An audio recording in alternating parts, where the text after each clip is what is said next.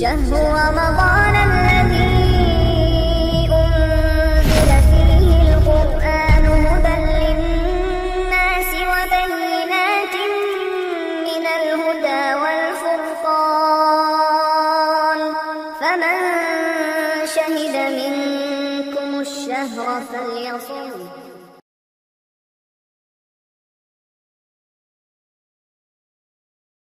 অনেক মানুষ একটা ভ্রান্ত কথা চালু করে দিয়েছে যা করো তা করো, কালেমা একবার পড়লে যদি জাহান নামে আল্লাহ দেয় শেষে তোমার একদিন জান্নাতে দেবে। এই কথা কিন্তু বাংলাদেশে প্রচলন আছে। কথা বলা লাগবে। এটা হাদিসের নামে জালিয়াতি। কালেমা একবার যদি কেউ পড়ে, একদিন না একদিন জান্নাতে যাবে। এ কথাটা ভুল। সেদিন রংপুর থেকে মাহফিল করে যাচ্ছিলাম কুষ্টিয়ায়। নাটোরের এই চলন বিলের মাঝখানে। দুইজন স্বামী, স্ত্রী উঠেছে গাড়িতে, আমার সামনের সিটে বসা, একেবারে বাস্তব বলছি। এমন পোশাক পরেছে tight fit skin tight pant পরা, দুইজনে শার্ট গায়ে দেওয়া। কোনটা স্বামী, কোনটা স্ত্রী, বোঝা যাচ্ছে না। হঠাৎ করে স্ত্রী ডাক দেওয়া বলছে, ড্রাইভার সাহেব গামিট থামান। গাড়ি থেমে গেল।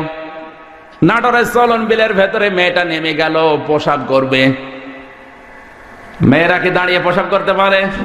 যেই বস থেকে সে পেছনে কিছু ছিড়িয়ে গাড়ির সবাই হা করে তাকিয়ে আছে। ওর যে স্বামী ও তাকিয়ে আছে। লোকজন বসে "এই বেটা বিয়া তাড়াতাড়ি যা। ও নিজে করবে কি নিজের জামা খুলে তাড়াতাড়ি জড়িয়ে ধরেছে। কুষ্টিয়ার মজমপুর গেটে বাস্তব বলছে মোটর সাইকেলে করে নিয়ে যাচ্ছে একজন তার বউকে, সালাম দিলাম। উত্তর দেওয়ার পরে বললাম, ভাইকে, বসে তোমার ভাবি। তো ভাবি একই পরিয়েছে নাকি শাড়ি না মশারি? মানে একবার তাকানোর পর তাকানো যাচ্ছে না। আমার কানের কাছে মুখ নিয়ে বলছে, আমির হামজা, কি করব? সারা জীবন তো আমি দেখলাম, আমি আর কত দেখব? এলাকার মানুষের হক নেই। উনি হক আদায় করে বেড়াচ্ছে। হাদিসের অনেক জায়গায় অনেক অপব্যাখ্যা তিনি করেছেন। তার ভিতরে কালেমা পড়লেই জান্নাতে যাওয়া যাবে না কথাটা তিনি বলেছিলেন। তার প্রমাণে আজকে বলতে চাচ্ছি যে আপনি যে কথাটা বলেছেন, এই কথাটা অড্য করতে হবে জাতির কাছে। যদি অড্য না করেন, তাহলে কিয়ামতের দিন আপনি ফেসে যাবেন। আরেকটা কথা বলে দিচ্ছি, আপনি পায় বা কোনো এক মাহফিলের আলোচনায় বলেছিলেন, আপনাদের জানানোর জন্য বলছি যে আমি হঠাৎ করে গাড়িতে বসলাম, বসার পরে দেখলাম যে একটা ছেলে আর একটা মেয়ে বসে রয়েছে, দুইজন স্কিন পরা। দুইজন স্কিন করা, বোঝা যাচ্ছে না কোনটা নারী আর কোনটা পুরুষ। জি হুজুর, আপনি যে কাজটা করলেন এটা তো আমাদের জন্য একটা ক্ষতির কারণ করে দাঁড়াল। আপনি যে ওদিকে তাকালেন, তাকানো তো উচিত ছিল না। তাকানোর পরে আবার বললেন যে দেখলাম দুইজনই নেমে যাচ্ছে।